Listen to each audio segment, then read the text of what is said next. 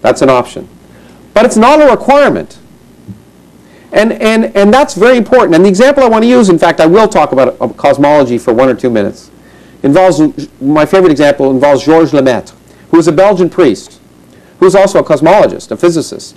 And he was, in fact, the first person to solve Einstein's equations for an expanding universe and show there had to be a Big Bang. And Einstein, in fact, didn't believe it and derided him for a while, but to much to his credit, Einstein eventually realized he was right. It, and uh, Lemaitre showed there had to be a Big Bang. There was a beginning to the universe. That was a profound shift in science. Up to that point, the scientific consensus was that the universe had been around forever. It was static and eternal. Suddenly it had a beginning. At that time, Pope Pius got very excited by that fact and wrote a public statement that science had proved Genesis. Now, what did Lemaitre do? Lemaitre was a priest. He wrote to the Pope and said, stop saying that. This is a scientific theory, and it makes predictions that can be tested. Now, if your religious and, and metaphysical beliefs suggest to you that it provides a vindication of Genesis, fine. But it could also equally well tell you that you just have the laws of physics that take you back to t equals zero and you don't need anything else. What you take out of the theory depends upon your religious beliefs. But whether or not you believe in God, the Big Bang really happened. And the same is true for evolution. Whether or not you believe in God, evolution really happened.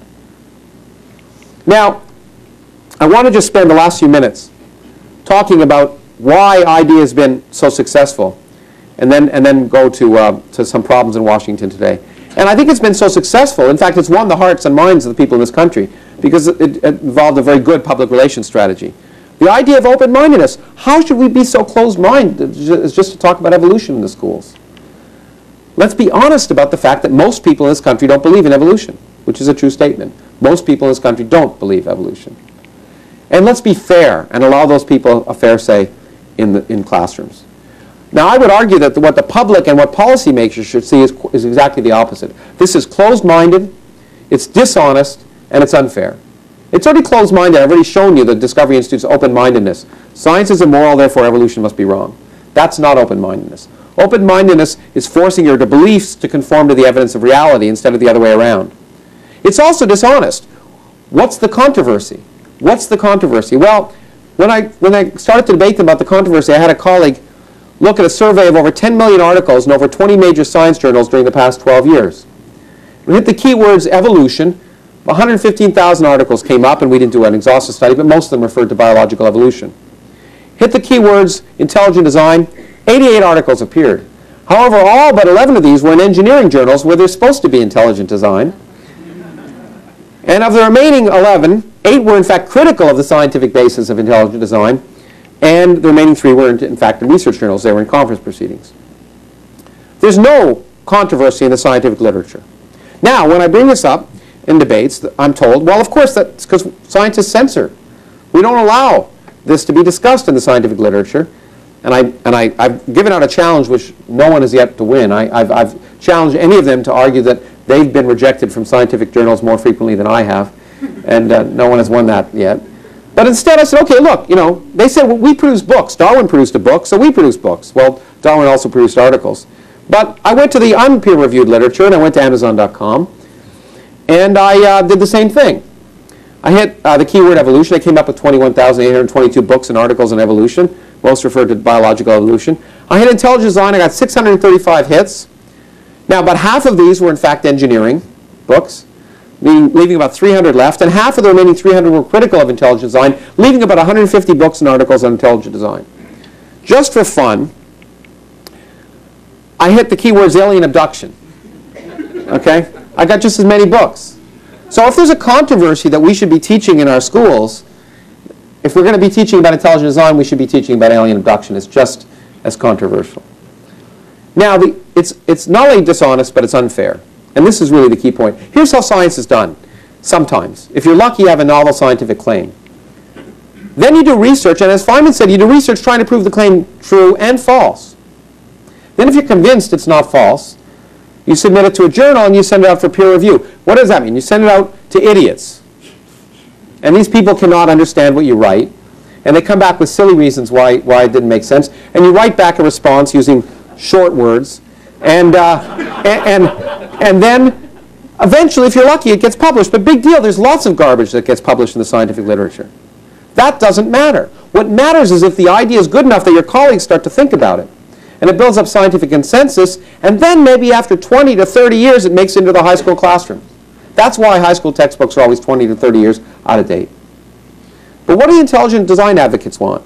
Well, they just want to get rid of the intermediate steps.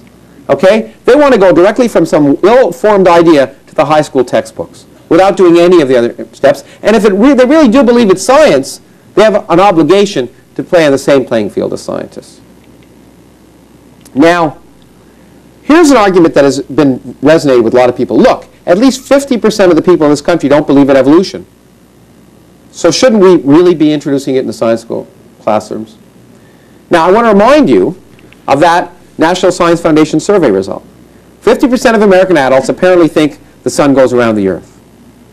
Therefore, should we be teaching the Earth-centric cosmology in physics classes in high school? After all, 50% of the people seem to think it works that way. When you point it that way, the answer is obvious. And the key point that seems to be missed from this whole debate is the important point that the purpose of education is actually not to validate ignorance, but to overcome it. And so if 50% of the people in this country don't know that the Earth orbits the sun, we're doing a crummy job teaching it. If more than 50% of the people in this country don't believe in evolution, we're doing a crummy job teaching it. We shouldn't do a worse job. This should motivate us to do a better job. Now, as my friend Eugenie Scott from the National Center for Science Education has said, the First Amendment protects against the government establishment of religion, but that doesn't mean it will protect against bad science. We have to protect against bad, science, but in fact, recently, the First Amendment has done a pretty good job, as you all know about the Dover case, which has really dealt a, a huge blow to intelligent design in this country. But, and, and many people would say, okay, this debate is over. But it isn't. This is a, I recommend you read this, by the way, from Judge Jones's decision. You can get on the web by Kitzmiller et al. It's 136 pages, triple spaced. And uh, it's humorous and cogent and probably, in my mind, gives the best summary of the history and the science associated with this pop popular debate in this country over the last 50 years. But while this case was, was decisive and has been very important in my own state and other states in terms of keeping science teaching about science, it's, the, the, the issue is by no means o o over. So in fact, here I just turned on the TV the other day and here's what I heard, saw.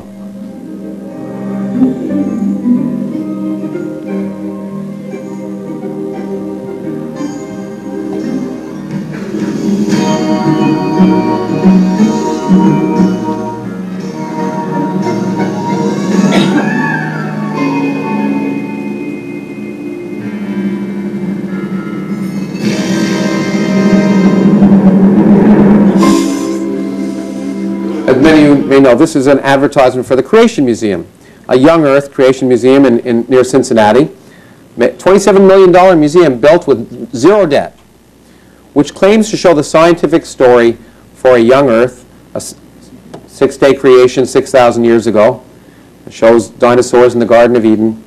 They're vegetarian before the fall, in case you're wondering. And the interesting thing is that this was built in um, it, within a it was chosen to be in Cincinnati because it was within a day's drive about half of the American uh, populace. And the interesting thing is they hope to get 250,000 people in the first year. In the first three months, they got 300,000 people that visit this museum. It's incredibly popular.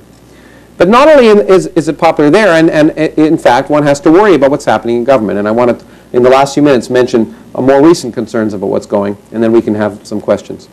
As you know, in the Republican debate a few months ago, three candidates claimed not to believe in evolution, and at least one stated they were agnostic about the age of the Earth. In a subsequent debate, one of those candidates said that that was okay because he was not running for middle school science curriculum developer. He was running for President of the United States. Now, the thing, that's not disturbing to me. The thing that's disturbing to me is that a poll of the public right after that, most people agreed with him.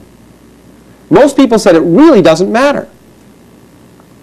And that's what should disturb. It disturbs me, and I think it should disturb all of us. Because, you know, it's fundamentally, and I want to get back to this economics in some sense, this is a question of economics and quality of life. And the interesting thing is, you know, when it comes down to it, ultimately,